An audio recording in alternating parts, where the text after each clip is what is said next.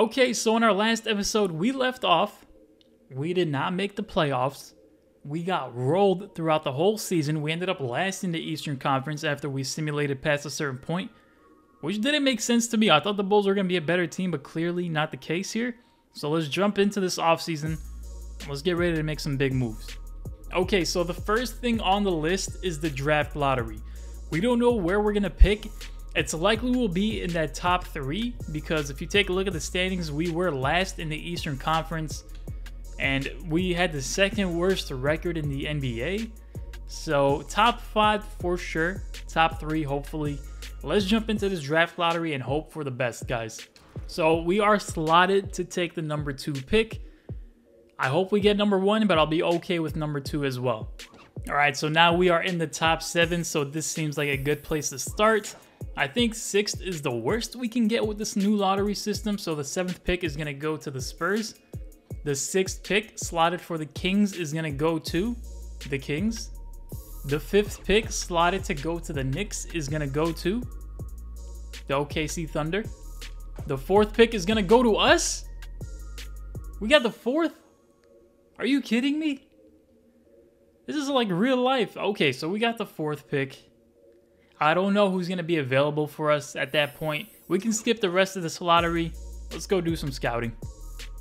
Okay, so taking a look at the mock drafts now that it's updated, the Hornets got the number one pick. So clearly LaMelo didn't help them too much, nor did Gordon Hayward if, if they find themselves in a situation like that. Um, Evan Mobley slotted to go number three to the Knicks. Now, this is the guy that I'm looking at the most I know Evan Mobley can be like a generational talent when it comes down to it. So he's definitely a guy I got my eyes on. Jalen Johnson from Duke. I don't, I'll be honest, I don't know too much about him.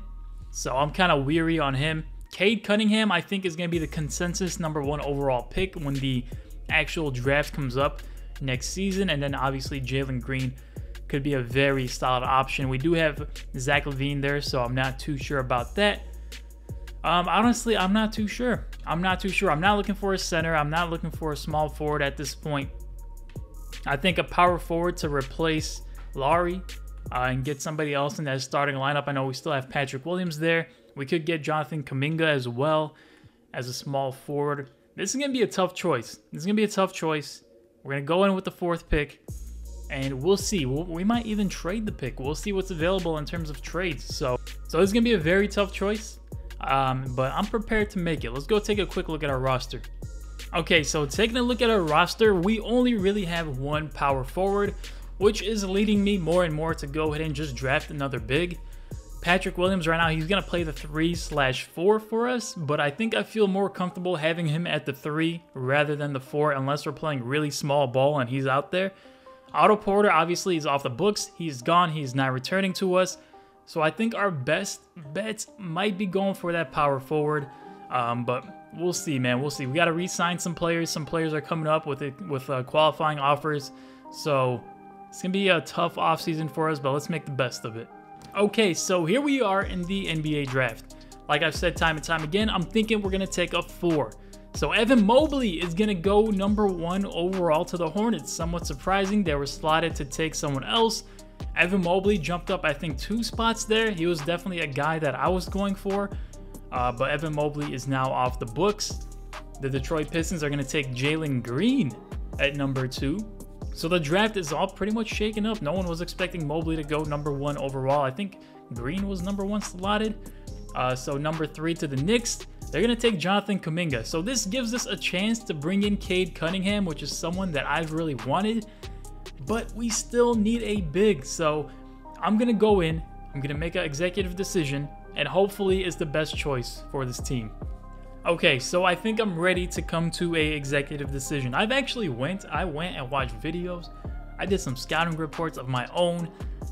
I went through NBA mock drafts for 2021, and I think it's clear that Cade Cunningham is going to be the number one pick next season. So in situations like this, I would normally draft Jalen Johnson because we do need a four. I've spoken about it a few times, but I think we can sign a four throughout free agency. We'll probably land a good four, but landing someone that can potentially be a superstar would cost us a lot of money in free agency and very rarely happens throughout the drafts. So I think Cade Cunningham is that surefire prospect. I don't know why nobody else took him, but Cade Cunningham is going to come out and be the number four pick for the Chicago Bulls. All right, so we are now in the second round. We got some players available that are real players, some fake players. I'm gonna go ahead and take this dude, Junzi Liu. I don't think he's a real player, uh, but we do need a power forward, and he does have some good potential to be an all-star or potentially just come off the bench. But we do still need that power forward in case we strike out on free agency. So we're gonna go ahead and draft this dude. I know we got some pretty decent talent here still that hasn't been picked up. Very interesting that Ricky O'Connor and Daishen Nix have not been taken, but this is the guy we need. Okay, so let's take a look at what the results are looking like. So Evan Mobley went number one, kind of shocking.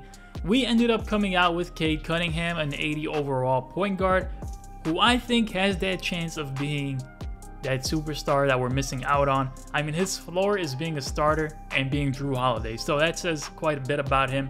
And then with our last pick, we ended up taking Junzi Liu, who again, I have no idea about this guy, but he's, he's a 72 overall player, so that is a good look for us. Did Daishen Nix get drafted? Yes, he did. So let's go ahead and sign both of our rookies to their contracts.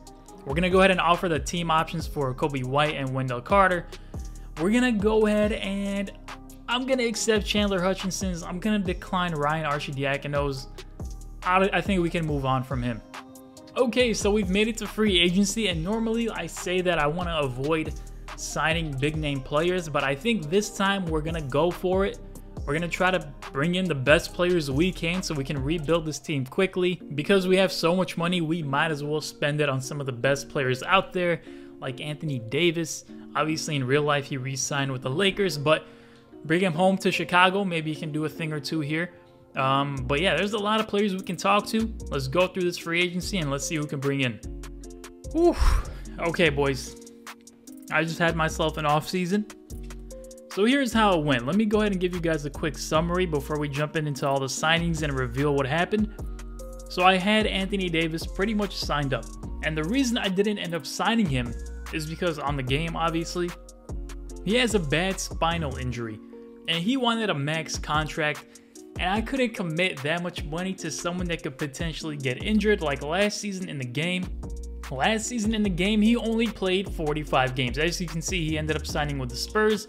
But yeah, he had a really bad injury, and I did not want to risk that much money on him. So we were going to offer him the max contract. Anthony Davis was very close to becoming a Bull, but I ended up not pulling the trigger on it. Instead, I let him walk, and we'll see how that ends up affecting us, but I think it might have been a good move because we still have a lot of money going into next season. Now, some interesting moves. We're going to walk through all the free agency signings, but let's go ahead and cover what we did first. Okay, so we re-signed Denzel Valentine to a two-year deal. We signed DeMarcus Cousins to a one-year deal, low risk, potentially high reward having someone like DeMarcus Cousins come in only on a one-year deal. We signed Derrick Rose. That's right, he's back with the Bulls. He'll be playing the two for us, believe it or not, so he's going to be a primary scorer for us coming off that bench as a sixth man. Derrick Rose is back with the Chicago Bulls. I know every Bulls fan in the world would be happy to see that. We re-signed Otto Porter. Yes, listen, I know I I spoke so much trash about this dude, okay? But we brought him back on a cheaper deal, only 9 million per year compared to the 28 million per year he was making in the past and it's only for two years. So you can see we're kind of setting up for another free agency run. Yeah, Lauri Markkanen, we only re-signed him to a one-year deal. Now, for some reason, he does not want to play for us. He refuses to play for the Bulls, so I had to extend the qualifying offer. He ended up taking it. He did not accept any other team's offer, so we couldn't like match anybody. He was a restricted free agent, but he didn't want to sign. So we won't be bringing back Lauri Markkanen next season. So now he's a trade piece for us. It pains me to say that because I love Lauri, but going into the season, Lauri Markkanen is a trade piece for us because he will not be re-signing with us in the next offseason. Now, I know our offseason was kind of uneventful because I was really prepared to go all in, but let's go ahead and take a look at what some of these other teams did. So going through this, I'm gonna try to point out the biggest deals, all right? Nothing, we're not gonna worry about things that aren't too important. For example, this is a good one, Jonathan Isaac to the Clippers on a four-year deal. RJ Barrett didn't re-sign with the Knicks. The Knicks gave up on him for some reason. This is this is 2K21 next gen, by the way. They still haven't fixed the uh, my NBA AI. So the Knicks let their rookie go. He signs with the Grizzlies. Um, some bigger deals that we're looking at here. The Wizards signed Kawhi Leonard to a one year, $8 million. Bro, what? 2K, come on now. What? If I knew Kawhi was willing to sign for such little money, I would have offered him a deal. See, this is when 2K gets a little bit weird, which kind of breaks you out of the immersion of being in the NBA and being an NBA GM. Because in what world would, would Kawhi sign for such little money? Right? He's making less than a lot of other players. This deal makes no sense whatsoever.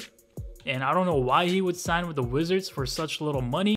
But I feel like that sums up my NBA next gen pretty nicely. So actually, I did kind of want to bring this up. This is what makes it a little bit hard to run a realistic my NBA because the rest of the teams aren't being very realistic. You know what I mean? Like Kawhi Leonard signing for this little money. Uh, he's leaving the Clippers when in real life he wouldn't do it. So running a realistic my NBA can be sometimes tricky especially when the AI is making some crazy moves. So unless you want to control every team in the NBA, uh, you kind of have to give it up and let the AI do its thing. So let's go ahead and continue with the free agency here. Dennis Smith Jr. on a two-year deal to the Lakers. And don't worry, it gets a little bit crazier, okay? I haven't even showed you guys some of the more crazier moves that have happened. Alonzo Ball re-signs with the Pelicans on a four-year, $120 million deal. He is worth more than Kawhi, believe it or not. Serge Ibaka on a three-year deal to the Clippers. Uh, DeRozan re-signs with the Spurs on a four-year deal. Lou William back to the Clippers. Spencer Dinwiddie back to the uh, Nets. Hassan Whiteside going to the Bucks on a three-year deal. Raptors end up signing Steven Adams. That's a great pickup for them. Pelicans go with LaMarcus Aldridge. Spurs end up signing Anthony Davis. Remember, we could have had him, but we let him slip away because of that injury concern. Lakers sign Giannis. That's right. So the Lakers now have Giannis, and what well, what happened to LeBron PSG? You're probably asking me. Just wait and see. Paul George goes to the Knicks for a four-year deal. LeBron James signs with the Dallas Mavericks, playing alongside Luka. Yes, that's right, on a two-year, $80 million deal. Now you're asking me, PSG, how do you beat this team? You don't. We're gonna end up losing to this team if we make it to the finals and we face these guys, we're not beating them. Let's be real here. So that's it for free agency. A lot of movement. And, and you know what? These moves kind of sounded crazy. Like, why would these happen? But seeing what we've seen in the real NBA these past couple years, literally anything can happen. So I know I'm saying 2K is being weird, but is it really that far off from what really happens in the NBA? We've had a crazy couple of years. Either way, let's jump into player progression. So Zach LaVine going up one point, Coby White going up four, Lauri Markkanen going up two, Wendell going up three, Derrick Rose dropping down three points. He's getting a little bit older, obviously. Patrick Williams, someone we want to develop, goes up three points. Cousins drops down two. Uh, Gafford goes up two, so on and so forth. Okay, so we are now in the uh, training camps. We're going to go ahead and assign untapped potential to Patrick Williams. I really need him to develop into something good. So he goes from an A minus to an A. And Cade Cunningham, I'm going to send him to perimeter shooting camp. He only has a B minus in his three. We want to get that up. So we'll get that up. He has an 80 now in his midi and only a 72, 72 in his three. So hopefully we can continue to build on that. And now we are in the next season. So obviously, crazy, crazy off season. I thought I was to make bigger moves. I thought I was to get a bigger free agents. Uh, but I guess it didn't go that way. We we are gonna have money next season. Don't even worry about that. And Lauri has to be on his way out, so we got some big moves planned in the pipeline this season. So stay tuned. This season number two is gonna be pretty dramatic. I think the offseason was very dramatic, so hopefully it slows down a little bit. But yeah, this is gonna be this is gonna be a very very interesting season for the Chicago Bulls, and hopefully we actually make the playoffs this time around. So that's going to be it for this episode, guys. As always, thank you so much for watching. I hope you guys enjoyed it. If you did, make sure to hit that like button if you're new here, subscribe, and I'll see you guys in the next one.